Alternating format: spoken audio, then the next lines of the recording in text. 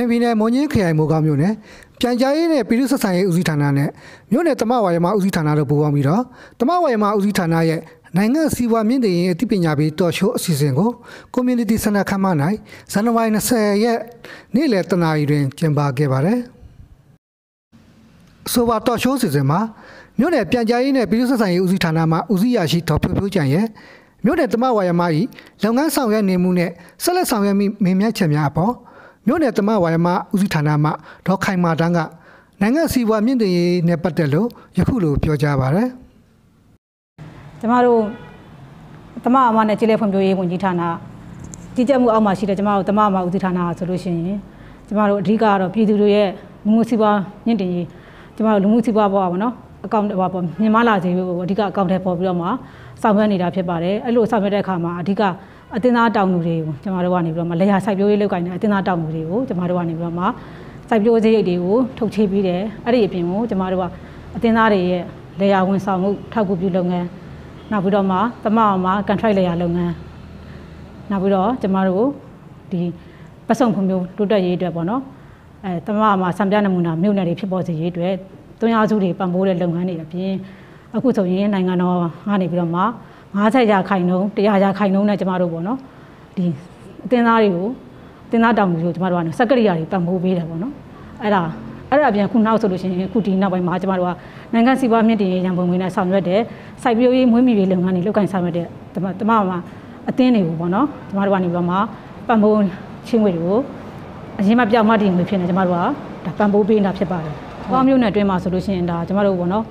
ဖွဲ့စည်းပြီးတဲ့အသင်းအမျိုးအစားပေါင်းပေါ့အသင်းမျိုးစားပေါင်း80တဲ့တင်းရှိပါတယ်။80တင်းမှာအခုကျမတို့ဒါအခုဒါလက်ရှိလုပ်နေနိုင်ငံစီးပွားမြင့်တင်ရေးရန်ပုံငွေနဲ့ပေါ့နော်။ဒါစိုက်ပျိုးရေးကိုကျမတို့မိုးကောင်းမြို့နယ်မှာကျမတို့စိုက်ပျိုးရေးအသင်းတွေနဲ့ကျမတို့၄သိန်းဖွဲ့စည်းထားတာ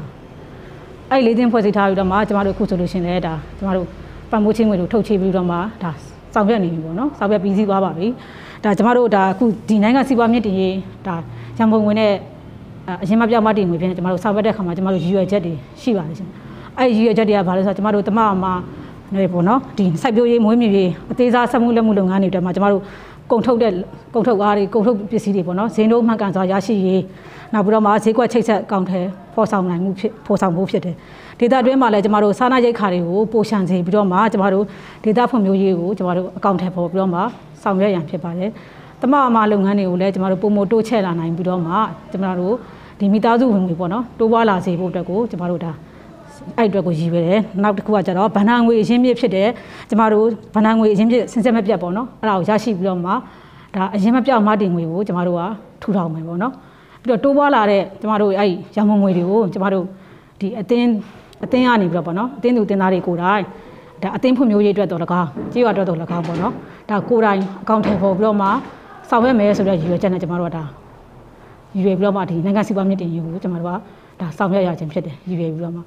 အခုမိုးကောင်းမှာလည်းကျမတို့ဒီစိုက်ပျိုးရေးကြီးအတင်းကြီးပဲပေါ့နော်ဒါနိုင်ငံစီးပွားအတင်းကြီးပဲကျမတို့ဒါ၄ရွာကြေးရွာ၄ရွာကျမတို့ဒါပံ့ပိုးငွေထုတ်ပေးထားတယ်ကြေးရွာတရွာကိုကျမတို့300နှုန်းနဲ့ပေါ့နော်ဒါကလည်း300နဲ့ဘယ်လိုပေးလဲဆိုတော့ကျမတို့အနေနဲ့ကတော့ဟိုပါပေါ့ကျမတို့ဒီတိုင်ဝမ်ပေါ့နော်တိုင်ဝမ်ဆိုလို့ရှိရင်ကျမတို့တမမှာအတင်မျိုးစား၄မျိုးတိုင်မှာကျမတို့ခွဲခြားပြီးပေးတယ်ပေါ့နော်တိုင်ဝမ်ဆိုလို့ရှိရင်ကျမတို့အတင်သား 85ဦးနဲ့အထက်ဆိုရင်ကျမတို့ချင်းငွေထုတ်ရှိပေးငွေပေါ့နော်300အဲအဲ့လိုပေးတယ်ပေါ့တိုက်တူးဆိုလို့ရှိရင်ကျမတို့အတင်သား90ရာနေပြီးတော့မှအဲ85အတွင်းဆိုရင်တိုက်တူးအဲ့ဒါဆိုရင်300ပေါ့နော်နောက်ပြီးတော့မှတိုက်3ဆိုလို့ရှိရင်ကျမတို့ကဟိုပါပေါ့ဘယ်လိုခေါ်မလဲကျမတို့ဒီအတင်သား25ဦးကနေပြီးတော့မှ90အတွင်းပေါ့အဲအဲ့ဒါဆိုကြက်သိန်း100ပေါ့နော်အဲ့ဒါကိုကျမတို့ထုတ်ချပေးတယ်တိုက်တိုက်4ကကြတော့ကျမတို့အတင်းဥတွေနှီးဥတွေနဲ့ညီဖွဲ့စည်းပြီးတဲ့အတင်းပေါ့နော် ပြည့်မီပြီးတော့မှအတင်းသားဥတွေပြည့်မီပြီးတော့မှအတင်းသားကတော့လည်းကောင်းအတင်းရတော့လည်းကောင်းပေါ့နော်အဲအဲ့လိုမျိုးပေါ့ဒီအဲ့ဒီနိုင်ငံတော်ကနေပြီးတော့မှကျမတို့ခွင့်ပြုချက်တိုင်းဒေသကြီးပြည်နယ်ဆိုအဖွဲ့ရဲ့ခွင့်ပြုချက်ကိုရယူမယ်ရယူပြီးတော့မှသဘောတူညီချက်ရယူပြီးလို့ရှိရင်လုံလောက်တဲ့အမှားခံကိုကျမတို့ကရယူမယ်ရယူပြီးလို့ရှိရင်တက်ဆိုင်ရာဌာနကနေပြီးတော့မှသဘောတူညီခြင်းနဲ့ကျမတို့ကချင်းငွေပမာဏကိုဒါထုတ်ချိနိုင်တယ်အဲ့ဒါတိုက်လေးပေါ့တိုက်လေးကတော့အဲ့လိုသွားတာဟုတ်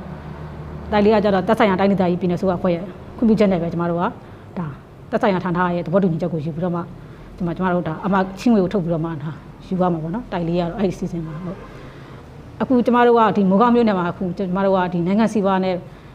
စိုက်ပျိုးရေးဆောင်ရွက်တဲ့အသင်းတွေကတော့အတင်းသား85ဦးနဲ့အထက်တွေရှိတဲ့ဖြစ်တဲ့အတွက်ကြောင့်မို့လို့ကျမတို့တိုင်ဝမ်ပေါ့နော်တိန်း300ကိုကျမတို့ကဒါစောင်းသီးနှံပေါ့နေကြမြေပဲပဲပုတ်အဲအဲ့ဒါတွေကိုကျမတို့ကအခုဒါစိုက်ပျိုးဖို့တော့ကိုစိုက်ပျိုးစိတ်တွေကိုကျမတို့ဒီဇင်ဘာလထဲမှာပဲကျမတို့